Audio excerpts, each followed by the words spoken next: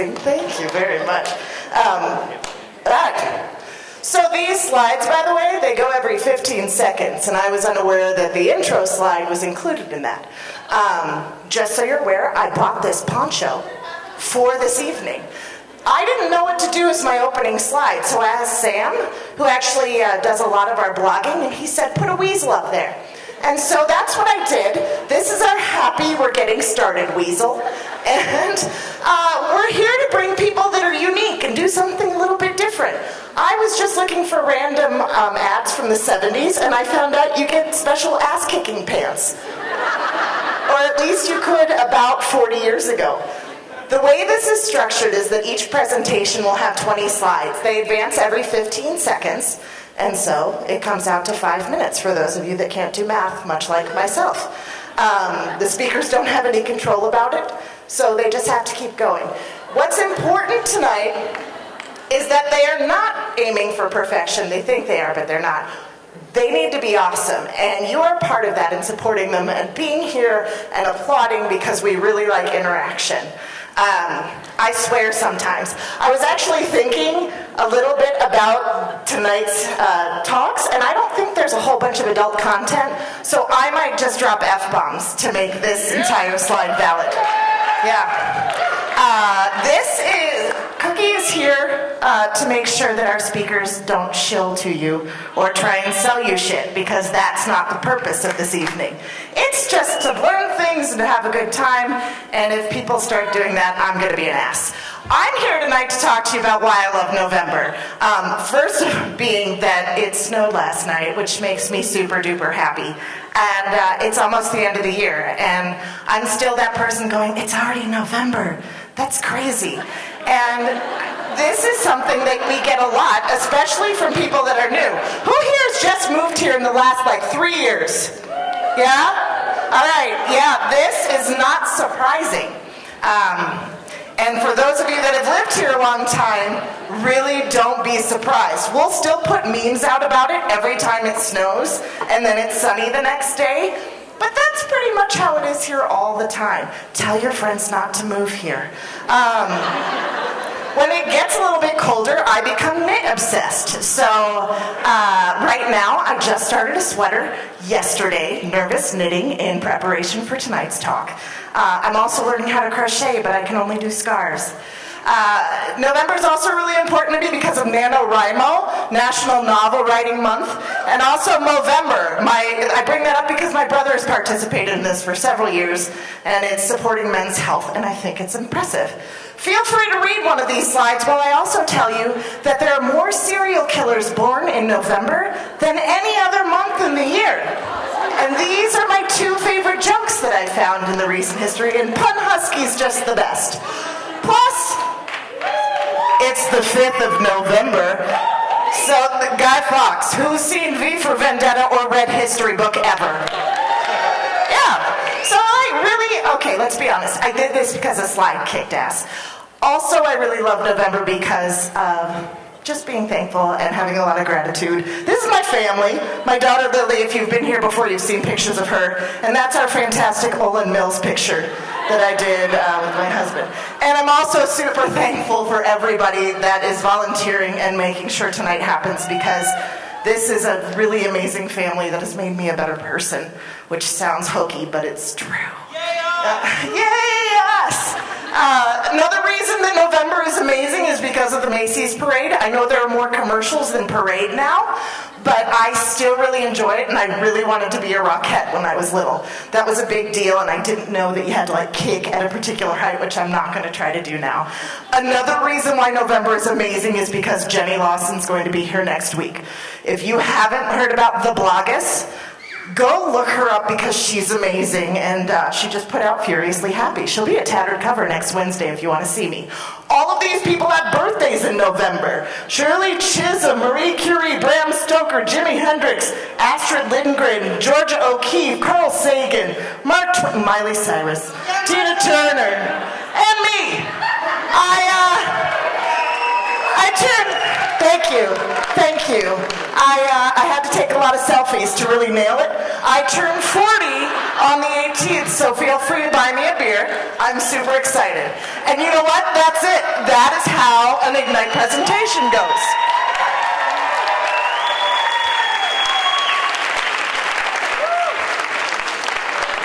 I'm sweating like a mother. Um, so that's it. Next, though, you got to see the real speakers that had to uh, put a lot of work and uh, effort into these. Amanda Yull is going to be our first talk of the night with Blow Up Your Life, figuratively speaking. Um, I, I got some fun facts from her. I know that she wishes she could do roller derby, but she hasn't, and that her favorite live music performance was every Nick Cave concert ever. I believe that's how it went. And now you get to walk out here carefully. Get back and forth across the stage about 14 times tonight without falling. I better get a shitload of high fives. So please give Amanda a big hand.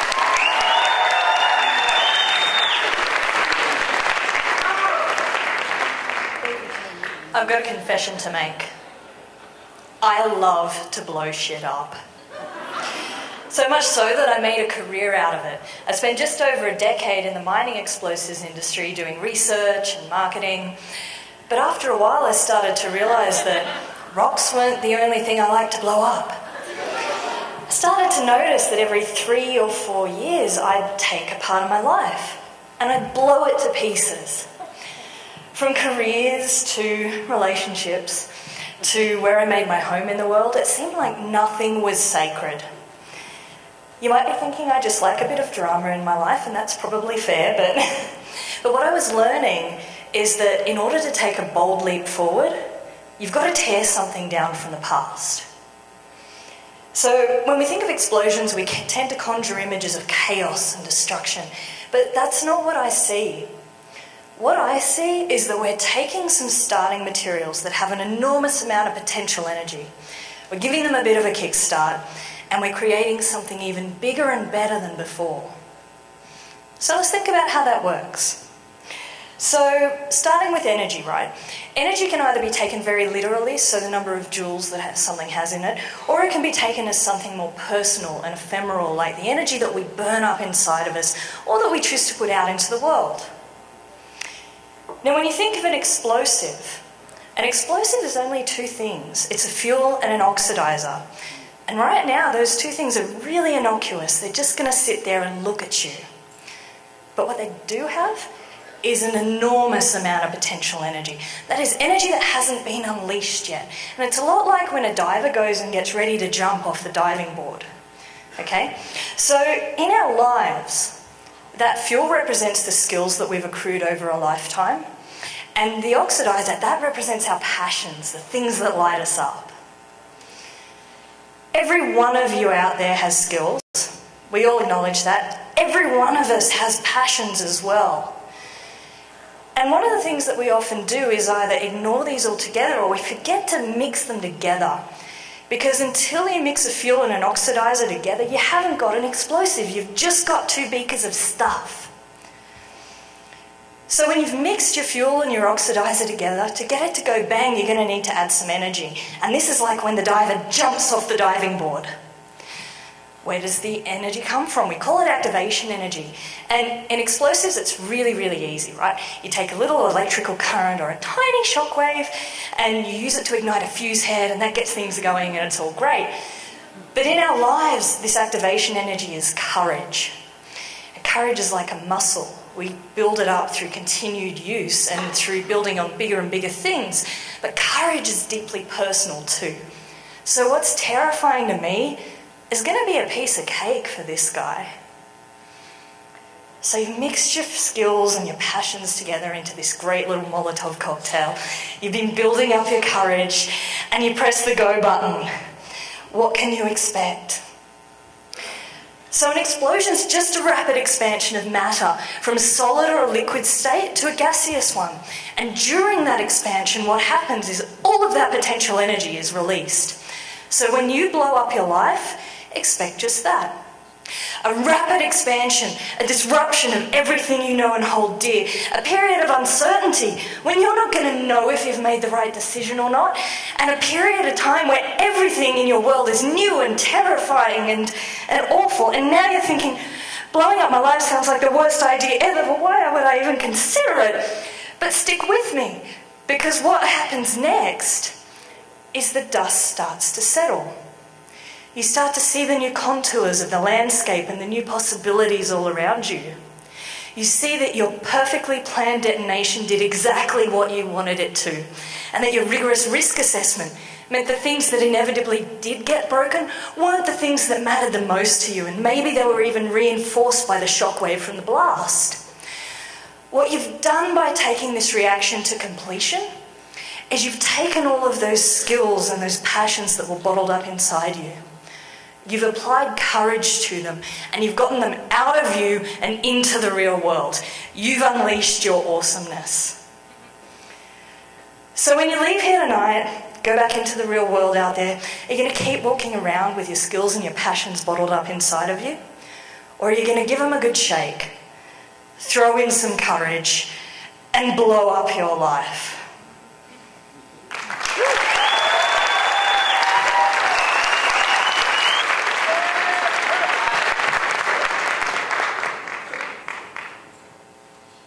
This is a picture of my wife and I the day we sold our car. We love not having a car. But I'm not here to tell you that you should sell your car. And I'm not here to tell you that cars are bad. I'm not here to guilt you about your carbon footprint. Instead, I'm here to talk about the secrets of multimodal transportation and the magic of going places without your car. Because the thing is, every mode of transportation has its own strengths. And they're a lot of fun. And if you're limiting yourself to only a car, you're missing out on a whole lot of value. So consider selling your car, but trying something else. Let me put it another way. If you were to tell a six year old to go grocery shopping for the week, you're going to get a cart full of ice cream, right? Most of us here are adults, and we do not do that. But not because we unlearned to like ice cream, and not because we decided at some point that ice cream is bad. Instead, we decided ice cream has a particular role in our lives, a very good one, but not an all encompassing one. And that is, I think, the way to approach transportation. So let's look at the status quo. If you need to go somewhere right now, you're too busy thinking about what you're going to do when you get there, if you're late or not, what you're going to wear. You don't want to waste brain power thinking about how to get there. You just go to the default. It's a habit. I want to use that same wherever you want. Read a book, check your phone, reply to those emails. After a while, you're to, you're to see what I was saying at the beginning. Every mode of transportation has its strengths. Um, use that to your advantage. Don't limit yourself to only riding a car. Getting from place from point A to point B eventually becomes like a game. Um, you have so many options at your disposal. Um, you can choose a bike, a bus. You can learn to skirt around traffic. You can avoid parking. Whatever you want. Transportation is an experience, right? We shouldn't hide ourselves wait for a car and just wish for that terrible commute to be over, that terrible trip to be over, the hassle of parking. It's an experience. And the more and more you do this, the more confident you get. It starts to snowball a little bit, and you might adventure out and try a farther trip. Or maybe you'll try to bike on the road when you weren't comfortable doing that before.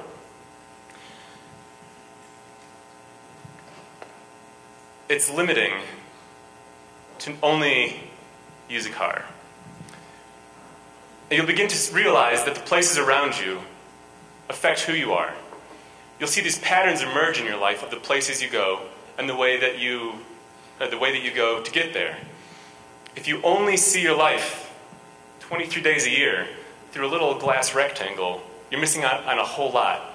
Because where you live and the place you live, there's a lot more there that you probably are missing out on if you aren't able to get out and experience it in different ways. When I tell people I don't have a car, the first reaction oftentimes is, well, I'd give it up, but I got to get to the mountains. Take your car to the mountains, but realize that when you're there, the reason you love the mountains is because you can get outside your car and move around in tons of ways. You can ski, you can kayak, you can bike. You don't have to give that up when you're in Denver. All you need to do is leave your keys on the table. Thank you very much.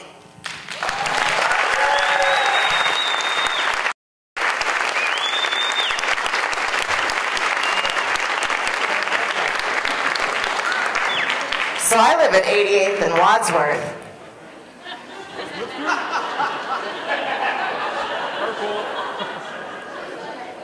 90 seconds. Good talk. Okay.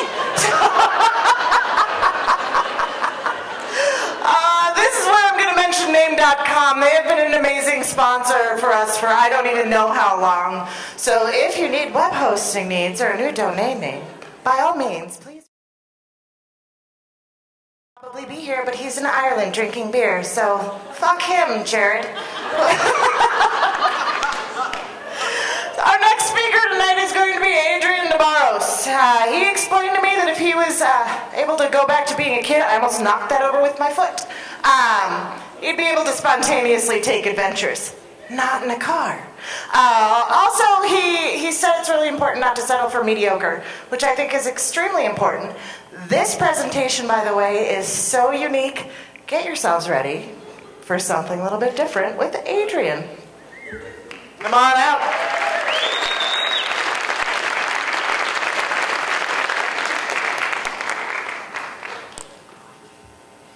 Thank you everyone for coming out tonight. Tonight I'm going to be bringing you a sliding uh, story within each slide. So hold on to your buckle, your belly may chuckle.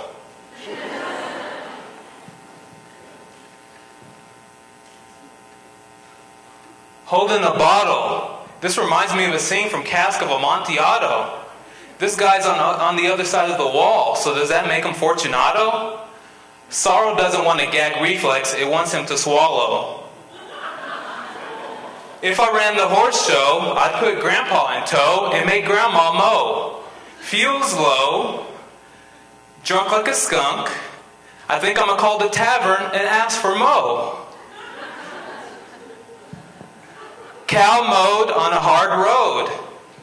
Conflict looks bad. Congress be bad. We all know because there's beef down that road.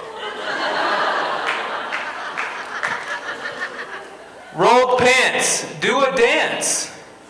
On a roll, take a chance. But her socks, you get no glance. But at least she has rolled pants. Slacker slacks with the hat and no slacks. This guy's sending the wrong message, yet he's not sending a message. I guess you could say he doesn't slack. Reflected row. Guy in tow refuses to row. His courage is underwater next to row, while the guy up ahead reflects on his row. Teacup sits, C cups fit. This is one steamy cup of tea you don't want to miss. Up goes Hike Cheeks. Surprise! There goes Pike's Peak. Puckered lips. Look at them falling in love. I call that a suckered kiss. Soon they'll have tuckered lids from screaming kids. Don't believe me? Who wants to take the first bid? Hand on plaid. He's just been told he's a new dad. He's not sure if he's glad or sad, but he knows in one year he'll be wiping a baby's ass. Hug hair, hug there. In focus goes hugging hair. No teddy bear. Teddy bear got pissed. Little girl left him, so he went and left him there. On the fence? Nah, he just wanted something a little more dense. There's no Kent in that flint, so there's Superman's not making a dent, but Superman's pissed. This guy's wondering where Lois went. Bullwinkle's revenge, moose on the loose, balls hanging like a noose. Inside their throats, writing notes, Natasha and Boris gag and choke. Who's sunrise on a fun high? She's in the Rockies, and I think we all know why. KFC hired and fired her all because she exposed a thigh. Toffee skin, drinking coffee again. Wait, I think this dude could be my next of kin. He thinks he's drinking from a coffee cup, purchased from the bargain bin. Walking shoes, walking to a balking muse. He's about to get his blue jean ass chewed. Rubber shoes, concrete chews. Makeup sex, rubber chews. Dame on window pane. Is she in pain or is it feigned? Did she lose the wedding ring? Nah, she just found out that her husband was Lord of the Bangs. He cut the neighbor's hair and trimmed the bangs. Babe, what can I say? This dude sat there so long, his hair turned gray. He's pretty obedient. He sat there and the bench said stay. In a holy place, I don't think he exfoliates. Repenting from unholy dates, is it a bit late? Perhaps. What's in his lap? I hope it's not the clap. Let's say a prayer for this dear old chap.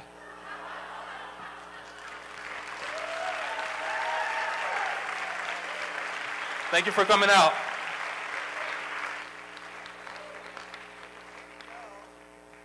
Honest to God, you guys, when he was about to come out, I said, So do you want the mic in hand or on the stand?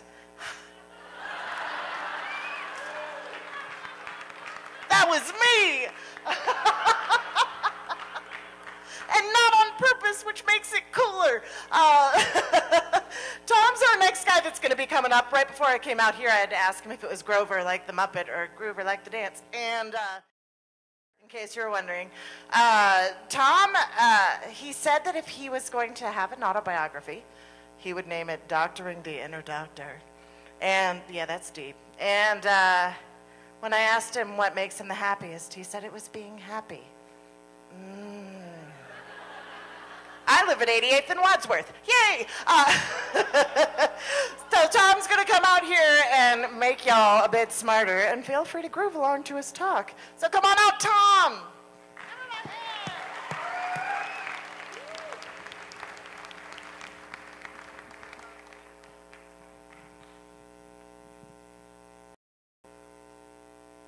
States issue corporations permits so they can legally force projects like oil and gas development and factory farming into our local communities.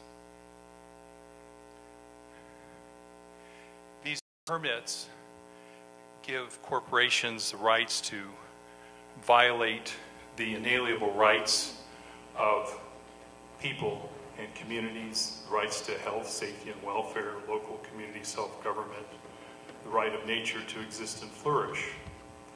And communities can't legally say no to these permits. Um, they can't say no to projects like the uh, fracking of Red Hawk Elementary School in Erie. It's because the states have created preemption. The states and corporations are able to use this tool.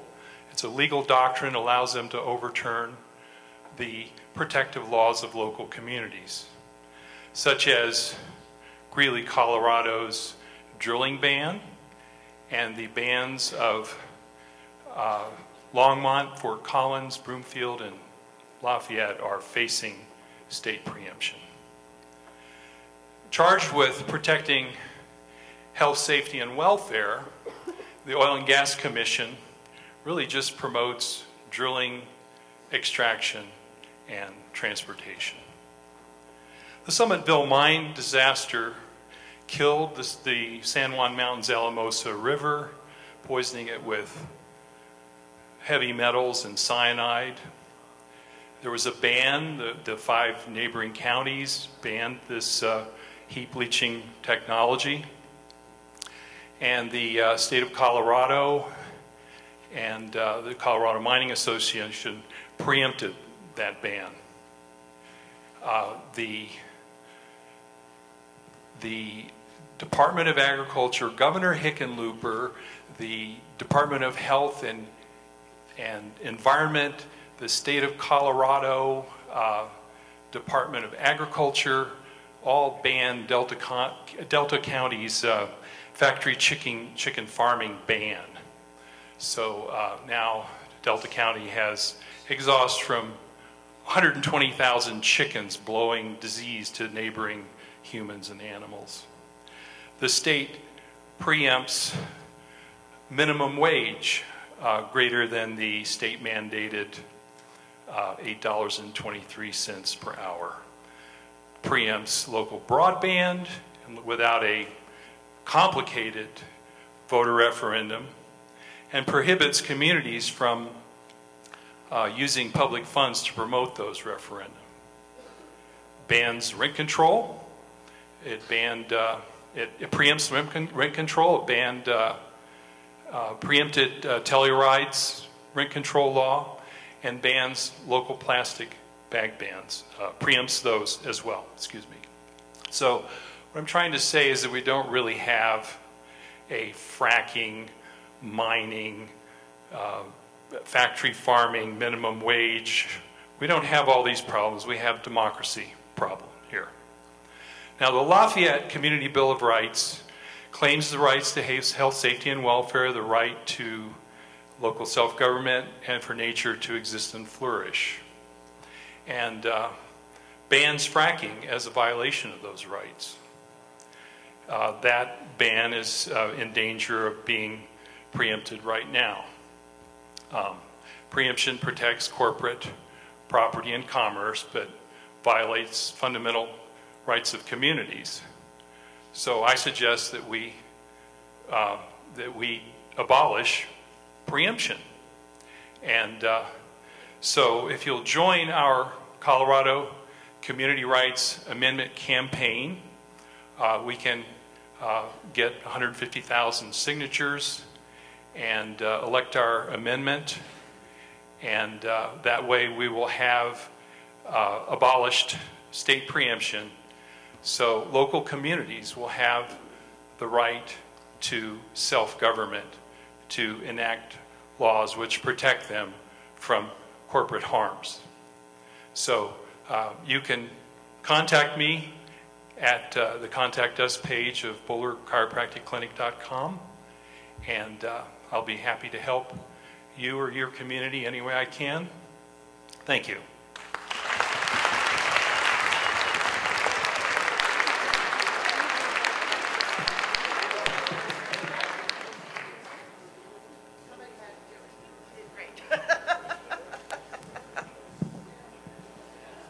Did you guys vote this week? It's important people like Tom initiate change, and I think that's amazing. Um, yeah, so yay, voting and community involvement. Um, next speaker is coming up right now. His resting heart rate is at 107. He's got one of those little, you know, watches. And uh, when he comes out here, check his tie, because he was really worried about it being too short. He's going to be way pissed that I said this out here. He misses Power Rangers from when he was a kid, and the last picture he took of himself was dressed up as Walter White from Halloween. And uh, most importantly, uh, Matt prefers hugs to handshakes. Matt Holmes, everybody.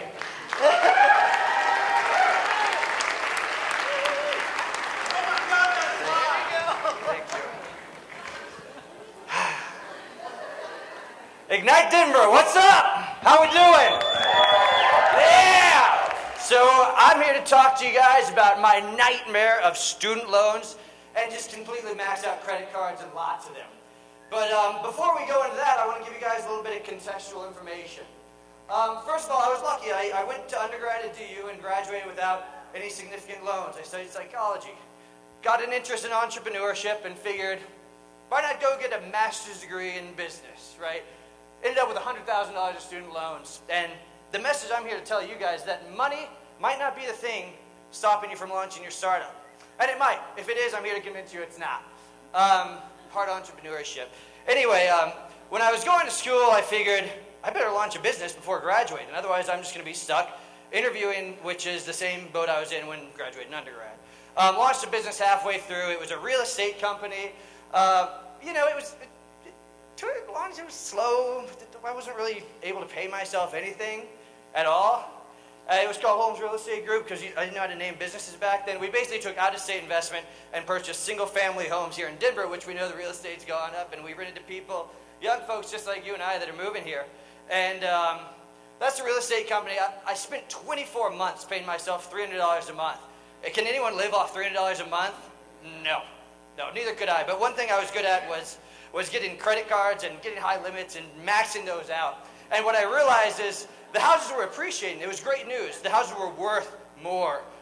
And my credit card debt was also quickly rising every year. I'd have quite a bit more, but I couldn't really access what was in the houses. And it wasn't always that much. So I started worrying about this credit card debt, and I started thinking, well, what's the worst that could happen?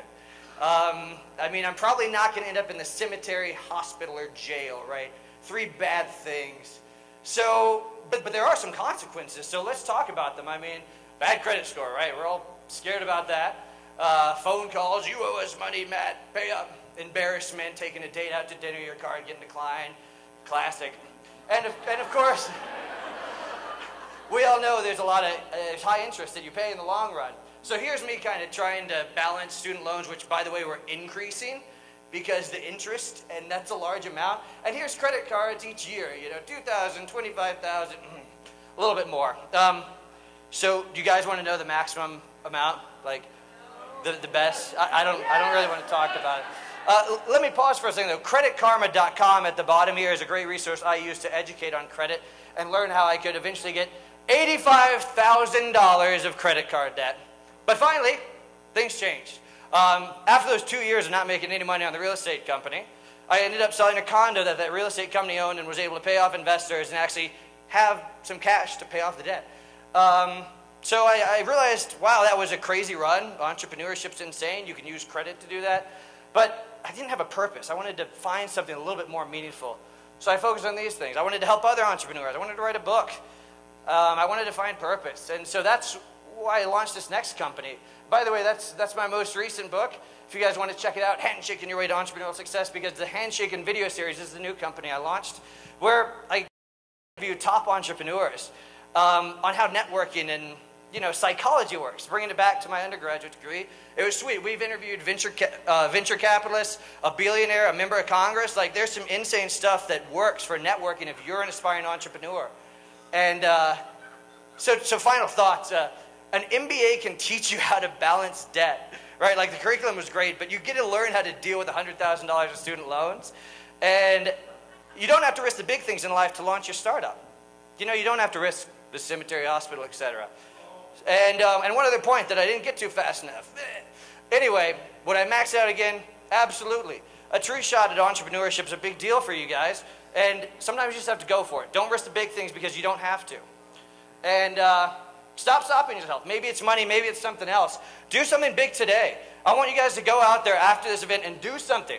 And I think a lot of you guys have a beer in hand, and now I have a microphone apparently. But um, let's raise like raise a hand for me. I need I need each of you in the audience raise a hand if you're going to do something today to reach your goals. Come on, everyone. Yes, you guys are awesome. Yeah, nothing will stop you from your dreams. Just do it. Just do it. Anyway, um, tweet me your startup idea at Handshaking. I want to tell you if I like your name or not, and I want to support you. Launch your companies if you're thinking about it and do something today. Thank you, guys.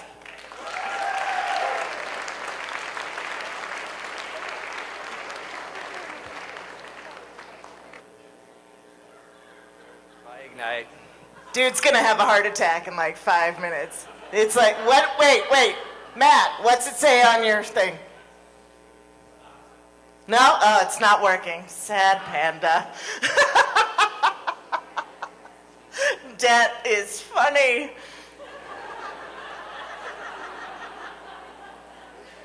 No. These are really important because they're messages evidently that I'm supposed to be getting that I don't. So thank God that I'm here listening to these things. Uh, Doyle, this is this is going to be fun. So Doyle is doing obviously a very serious discussion. I came in braced for something really horrific, as I'm sure most people in this room are, will be. I don't know what verb I'm supposed to use. Breathe easy. This is not bad. it's about a bigger picture. Now, let's talk about Doyle for a second. Doyle said that if he was to get an autobiography written, it would be called Jackass Does Good. Um, if he could live in any sort of fictional world, it would be Dune. And uh, he, it's funny. So on the email, I don't know crap about Dune other than Tina Turner. That's all I know. And uh, and he put on there, I want to be. I'm going to mispronounce this shit out of this. The Kwisatz Haderach or something like that. And I'm like, well, I should try and say this on stage. He said, no, just tell everybody I want to be Paul. The geeks will get it. Okay. All right. So he wants to be Paul. and uh, and he's going to come out here and talk to you about something much bigger than Dune, although Dune's pretty important. So please bring uh, a lot of applause for Doyle.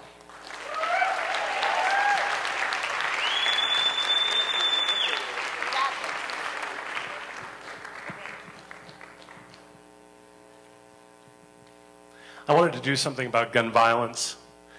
When I thought about the enormity of the problem, I felt paralyzed. There are thousands of people gunned down in this country every year. 2014 was a record breaking year for gun violence in, in schools. It was also the year my son was born. I couldn't sit back any longer. I had to do something. But who am I? What can I do? I'm a school teacher. I'm nobody. And then I had this idea that it didn't matter who I am. It doesn't matter what I do for a living. It just matters what I can do. So I decided I would give away all my skills and talents for free. Anything I could do, from screwing in a light bulb, installing a toilet, to helping with an essay. And then people would be inspired, and they'd want to pay it forward, and then the world would be a better place. I made flyers, I went door to door, and nobody wanted my help. I went back to my classroom, I told my students, they loved the idea. I told their parents at back to school night, they loved the idea. But nobody wanted my help. And it started to feel like there was this giant wheel of fortune just spinning round and round. And it only stopped when it landed on somebody else's kid. But they're not somebody else's kids. They're my kids. They're our kids. And I wanted to quit. At the same time, I had this, this student, John, driving me insane. He's constantly interrupting. He's shouting across the room, Oh, that's a neck! Meaning, somebody's going to get slapped in the neck because they said something stupid. And then I'm teaching one day and I hear, Oh, Mr. Hanks, you know that's a neck. I'd had it. I march him outside, I read him the riot act, and he's got this tear coming down his cheek. And he's he tells me his mother's very sick, and suddenly it all makes sense. I put a hand on his shoulder. I tell him, I'm sorry. I'm there for him, and I understand. Now, he and I, things are different between us after that. he's the guy, he's the guy telling the other kids to be quiet now. He tells me he wants to start a kindness club on campus based on my idea, and he's a born leader. He writes a charter. He, at the first meeting, he's like, all right, you're president, you're vice president, you're secretary, you're treasurer, boom, let's do this. and he stops coming to meetings. I hear through the grapevine that he's been in some fights. He emails me and he tells me, Mr. Hanks, I am not kind. I don't deserve to be part of something great. I email him back and I tell him, You are great, and you come back as soon as you're ready. But he doesn't come back. In fact, he doesn't come to my class at all. And I start to think about the limiting beliefs that this kid has that tell him that he's unworthy at 15. And then I realize I'm doing the exact same thing with my project, thinking that I don't deserve to make a difference. And I wonder if he's comparing himself to me, thinking that I'm a good person because I'm doing this project. I am not a good person. I am mean and spiteful and petty. And if I have to wait to be good, to do good, then I am doomed. And I am a good person.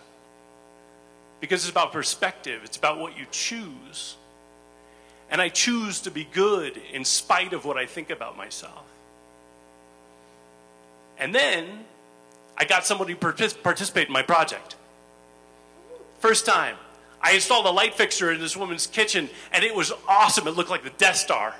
And, and I was thrilled, and she was thrilled, and her husband was thrilled because he didn't have to do it, and I was so happy. And I did a project after project, and I was so happy and so confident with each one. And I was fundamentally changed and completely a different person by giving. And I realized this project was never about what I give to other people, it was always about what I get from giving. I think that's the answer to gun violence. That if we can choose to give and connect and love, then the world will be a better place. And John did come back to class. And something did change for him because he got an A in my class. And the last day of school, he hugged me and he thanked me. And I thanked him right back. And I'd like to thank you. If you need any help with anything, just let me know.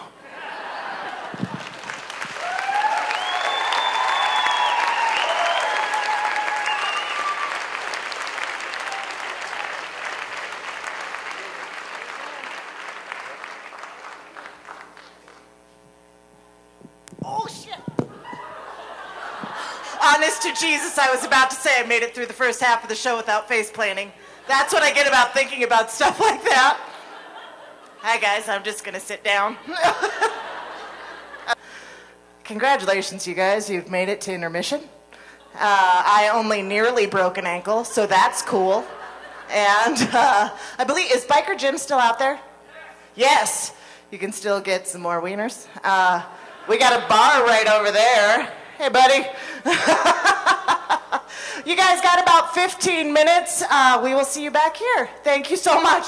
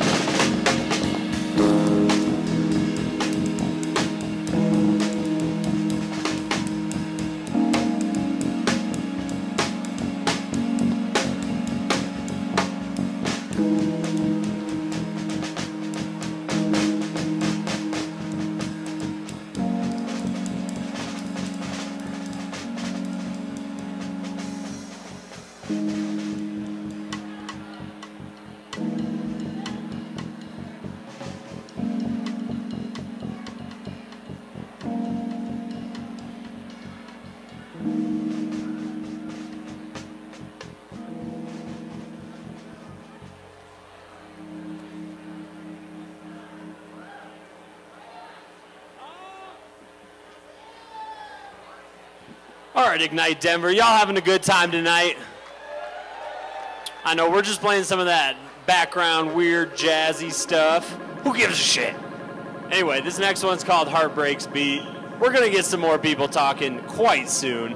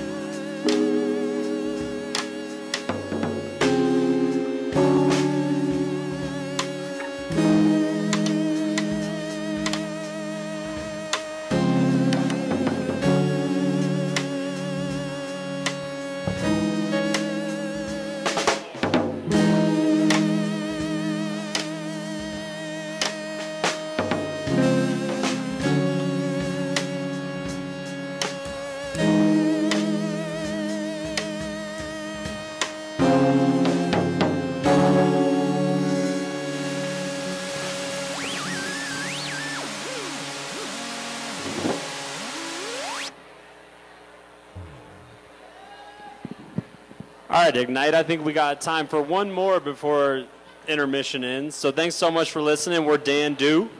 Got Ben Wyrick on the keys. Yeah. Dylan Johnson on the drums. And I'm Sean Danduran on the bass.